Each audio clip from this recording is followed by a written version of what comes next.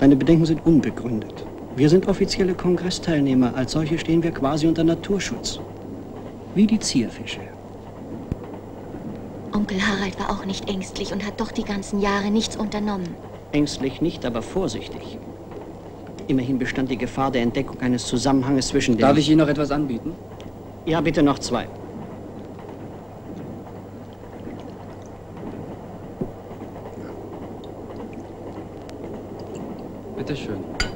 Dankeschön. Immerhin bestand die Gefahr der Entdeckung eines Zusammenhanges zwischen dem Schatz von Lublin und anderen Aktionen des Oberst von Zedenitz. Du weißt ja, wie unlieb mir Geschäfte sind mit persönlicher Beteiligung. Dazu hat man doch seine Leute. Du hast dich entschieden, das Erbe anzutreten, Liebes. Also ist doch deine Mitarbeit unumgänglich. Und du glaubst wirklich, dass wir noch alles vorfinden werden? Nach 25 Jahren? Ich bin davon überzeugt. Es konnte kein besseres Versteck geben, wenn du meine Anweisungen genau befolgst. Gehst du überhaupt kein Risiko ein. Gnädige Frau?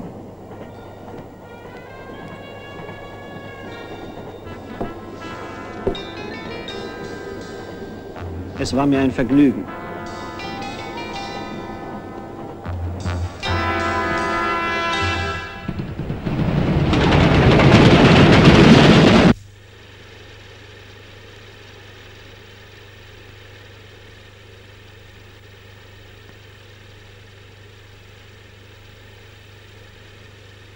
Hier wird Oberst Harald von Zedenitz zu Grabe getragen. Gutsbesitzer, Offizier der Nazi-Wehrmacht, Berater der Westdeutschen Bundeswehr und ein leidenschaftlicher Kunstsammler.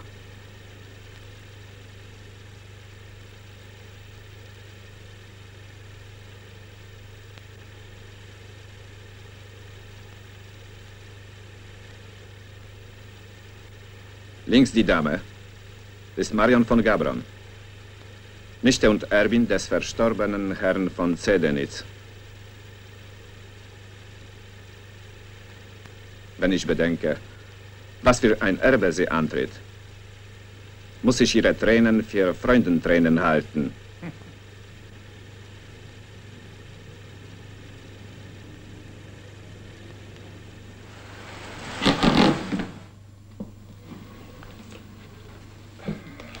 Genosse Hartmann, jetzt zeige ich Ihnen noch etwas. Das sind Teile des Kirchenschatzes aus dem Kloster Lublin. Und gibt es Beweise dafür, dass dieser von Zedenitz den Schatz geplündert hat? Oberst von Zelenitz war Kunstkenner. Als Kommandeur einer Sondereinheit hat er Kunstschätze der polnischen Nationalkultur geraubt. Auf einem seiner Raubzüge kam er nach Lublin, allerdings zu spät. Der Kirchenschatz war in Sicherheit.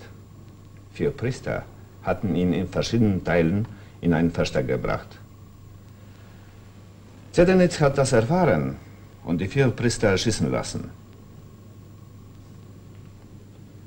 Das sind Verbrechen gegen Menschlichkeit. Und die verheeren bekanntlich nicht. Und Zedenitz ist nie bestraft worden. Das Auslieferungsersuchen unserer Regierung an die westdeutsche Regierung wurde abgelehnt. Und der Schatz? Was ist aus dem Schatz geworden? Gleich nach dem Kriege wurde danach gesucht. Vergeblich. Vielleicht hat er ihn in seinem Privatbesitz. Nein, auch da nicht. Es ist anzunehmen, dass Zedenitz ihn versteckt hat und ihn nicht holen konnte. Warum soll der Schatz ausgerechnet in unserem Berlitz zu suchen sein? Erstens hat Oberst von Zedenitz 1945 in Berlitz die Truppen verlassen und ist in Richtung Westen geflohen. Zweitens haben 1946 spielende Kinder zwei Lubliner Weihbecher gefunden. Und drittens findet jetzt in Berlitz eine internationale Aquarianer-Tagung statt. Und der Zusammenhang? Marion von Gabron, die Erbin des Zedenitz, interessiert sich plötzlich für Zierfische und ist ausgerechnet in Berlitz an einer Fachtagung dabei. Meine Damen und Herren, Liebe Gäste, ich habe die große Ehre, Sie zu unserer fünften internationalen Tagung zu begrüßen. Wir sind sehr froh, dass diese zentrale Fachtagung in die Deutsche Demokratische Republik nach Berlitz einberufen wurde. Ist es doch ein Ausdruck für die Anerkennung der Entwicklung der Aquarienkunde in der DDR. Die Beschäftigung mit unserer Liebhaberei ist uns nicht Selbstzweck. Wir betrachten sie als Teil der Gesamtheit aller Einzelbestrebungen. Diese These möchte ich an einigen Beispielen erläutern. Erstens. Auf vielen Gebieten des öffentlichen Lebens treten unsere Mitglieder als gesellschaftliche Partner staatlicher Instanzen auf. Als Naturschutzhelfer ganz besonders beim Kleingewerbe. Zweitens. Viele Fachgruppen haben Freundschaftsverträge mit volkseigenen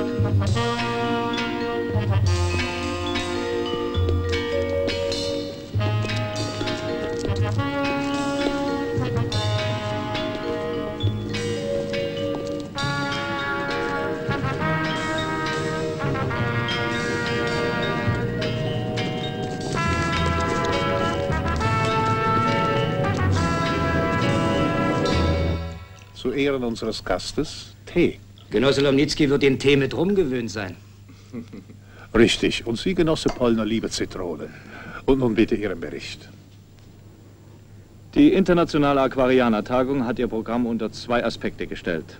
Erstens Bedeutung der Aquaristik für die Freizeitgestaltung der Menschen im technischen Zeitalter. Zweitens planmäßige Zucht neuer Arten von Zierfischen und deren Bedeutung für die Steigerung des Exports. Aquarianer aus zehn europäischen Ländern sind zu dieser internationalen Tagung gekommen. Darunter drei aus Westdeutschland. Dr. Karl Brettschneider, Studienrat in Mannheim, gilt als Experte bereits viermal in der DDR gewesen. Hans Wohlgemuth, kaufmännischer Angestellter in Wuppertal, zum ersten Mal in der Republik. Und schließlich diese Marion von Gabron. Sie ist den Veranstaltern bisher unbekannt gewesen und zeigt auch nicht besonders viel Interesse. Kontakt mit den beiden anderen Westdeutschen war bisher nicht zu beobachten. Ich habe sogar gesehen, wie sie Hans Wohlgemuth vorgestellt wurde. In der Stadt hat sie sich ein bisschen merkwürdig benommen, hat sich öffentliche Gebäude betrachtet, ist provozierend falsch über verkehrsreiche Straßen gegangen und hat betont auffällig das Kreisamt der deutschen Volkspolizei fotografiert.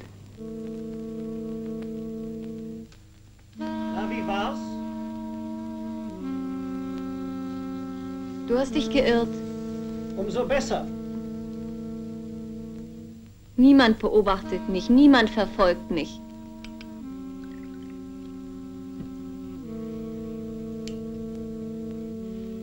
Woher sollen Sie denn auch wissen, dass eine von Gabron die Nichte des Harald von Zedenitz ist? Morgen gehe ich zum Kongress. Und du wirst einiges erledigen. Ja, der Diskusbund Barsch. Einer der schönsten und interessantesten Aquarienfische, die wir kennen. Und seine Zucht? Seine Zucht bereitet oft außerordentliche Sorgen. Das liegt daran, dass die Muttertiere die Pflege des Laiches übernehmen müssen und deswegen unter keinen Umständen vom Gelege entfernt werden dürfen, weil sich die Jungtiere nach dem Schlüpfen nämlich noch eine Zeit lang von einem Sekret, Hautsekret, das die Eltern absondern, ernähren und äh, deswegen also unter keinen Umständen vom Gelege entfernt werden dürfen.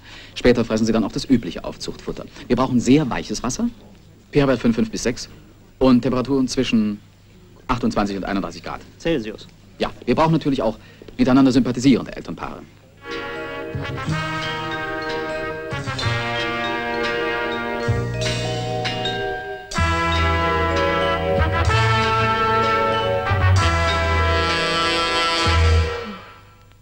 Was ich mir alles anhören musste. Kabinett für Mathematik? Kabinett für Physik? Kabinett für Geographie? Für Astronomie, für Biologie und so weiter und so weiter. Und der Hausmeister, der hat mir alles mit solchem Stolz erzählt, als wäre es sein Eigentum.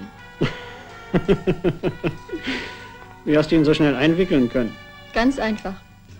Ich habe mich als Tochter eines früheren Hausmeisters ausgegeben. Diese Leute hier sind von einer Freundlichkeit, also. Marion von Gabron, Tochter eines Pedels. Und was hast du herausbekommen? In den letzten Kriegstagen war die Schule zerstört worden, ist aber wieder völlig aufgebaut. Und die Kellerräume? Die haben als Luftschutzbunker gedient und sind unbeschädigt. Ausgezeichnet.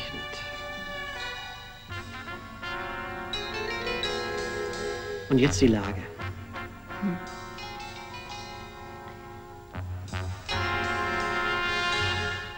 Also links vom Eingang ist die Pförtnerloge. Treppe. Hier geht es in den Keller. Mhm. Hier, diese Tür ist meist verschlossen. Ah. Da müssten die Strom- und Gaszähler liegen. Gut.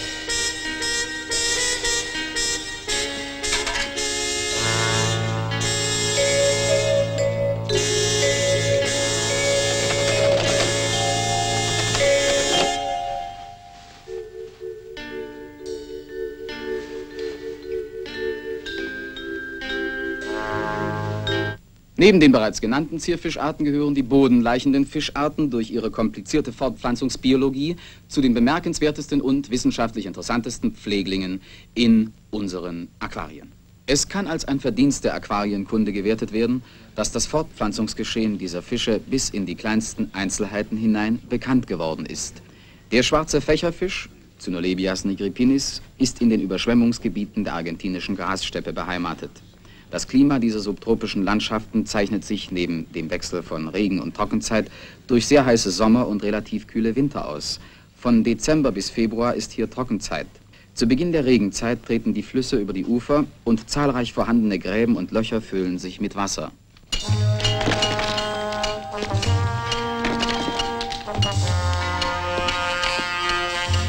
Na, Kollege, mach mal eine 15.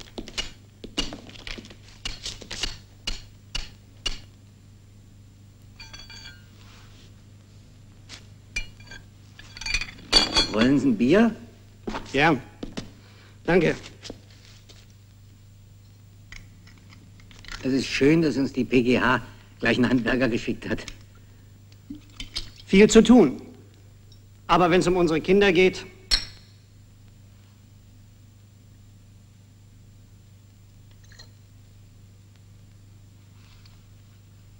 Sie sind wohl nicht von hier. Warum? Sie sprechen so anders. Ich bin zugezogen. Ah. Vor zwei Jahren. So, ich mache weiter.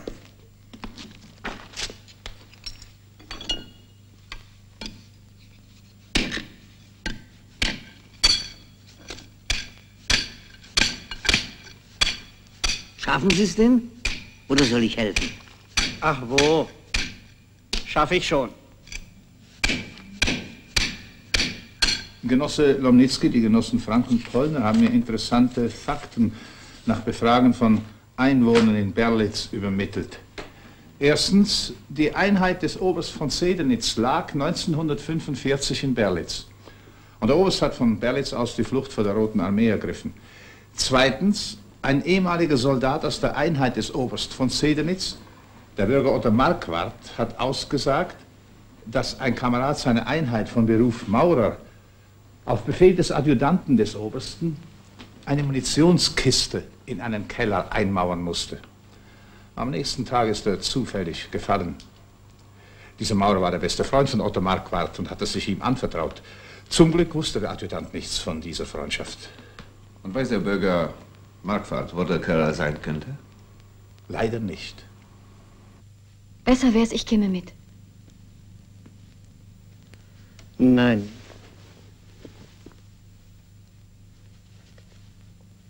Aber ich könnte doch wenigstens aufpassen. Ich habe gesagt, nein.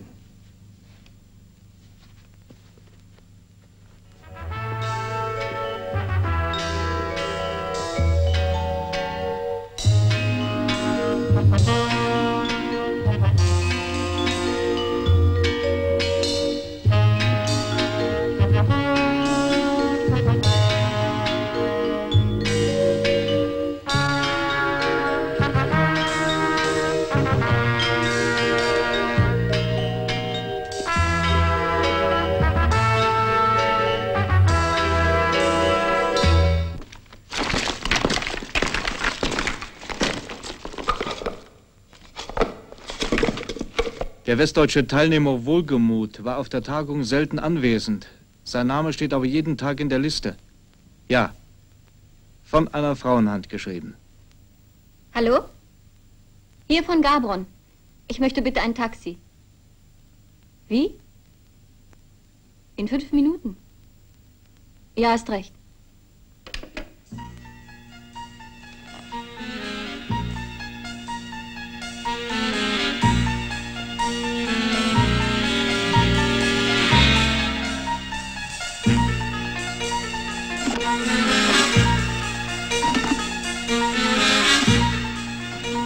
Sie denn hier?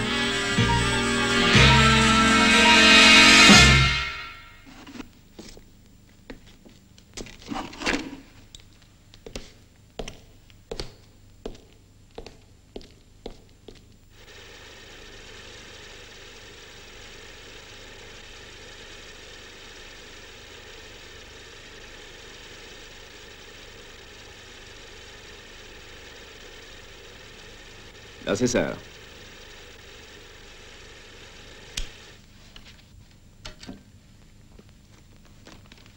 Unsere Genossen haben ermittelt, dass der Adjutant des Oberst von Zedenitz an dem Raub der sakralen Schätze beteiligt war.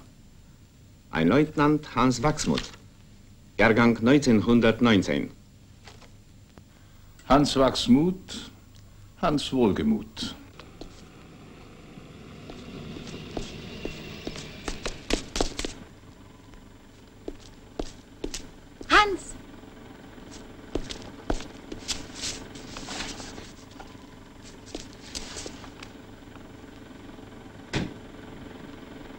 Nach Kunersdorf. War es jetzt mitten in der Nacht nach Kunersdorf? Ich habe doch in einer halben Stunde Feierabend.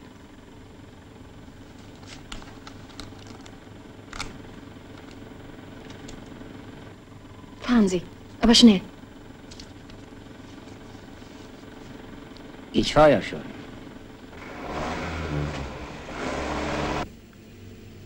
Wissen Sie überhaupt, wie weit das ist? Da muss ich über Vorhennersdorf fahren, durch Blisow, an der Kunersdorfer Pappelkreuzung vorbei und dann kommt erst Kunersdorf. Genosse Rath, Meldung von der Volkspolizei. Der Hausmeister einer Schule ist niedergeschlagen worden. Täterbeschreibung passt auf Wohlgemut.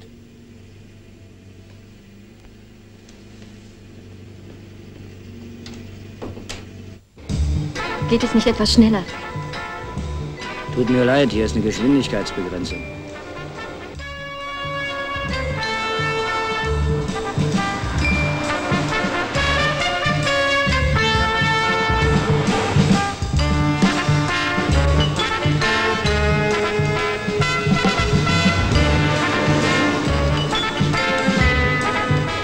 Wir sind jetzt an der Kunersdorfer Pappelkreuzung. Wie weit ist es dann noch bis Kunersdorf?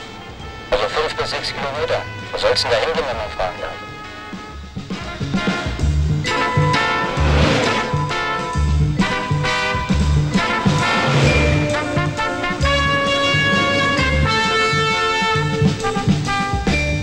Halten Sie dort rechts.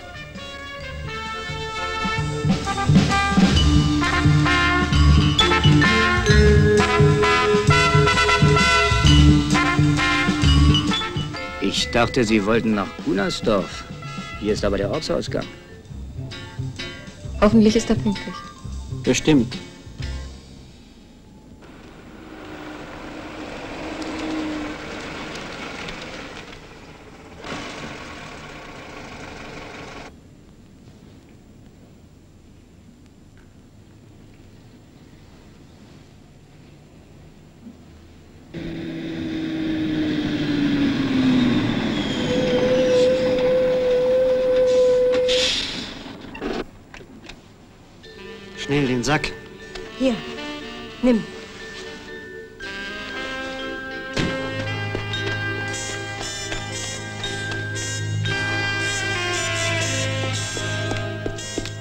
Beeilen Sie sich. Geht klar.